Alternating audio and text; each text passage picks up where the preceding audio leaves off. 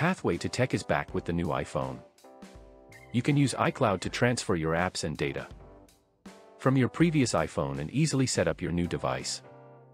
First, make sure your previous iPhone and new iPhone are nearby. Then swipe up from the bottom edge of the new iPhone.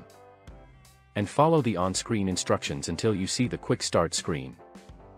On the previous iPhone, you'll see a prompt to set up the new iPhone. Confirm the Apple ID that appears and tap Continue. Hold your previous iPhone over the new iPhone so the animation displayed on the new device appears within the circle.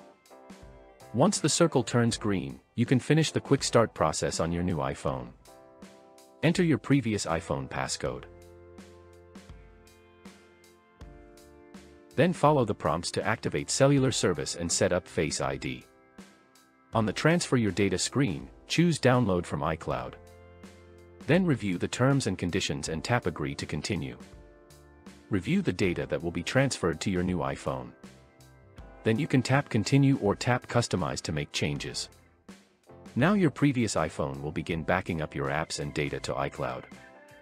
If you don't have enough available iCloud space, you will get free temporary iCloud storage. To complete the backup, make sure your iPhone stays connected to Wi-Fi while backing up. The time it takes varies based on the size of the backup and your network speed. Next, you'll see the Restore from iCloud screen on your new iPhone.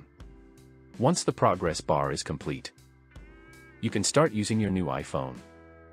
Content like apps, photos, music, and other data will continue to restore in the background.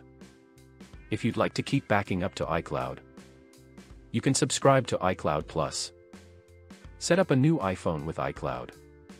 To see more content around iPhone related features and more videos on Apple products make sure you subscribe to my channel below.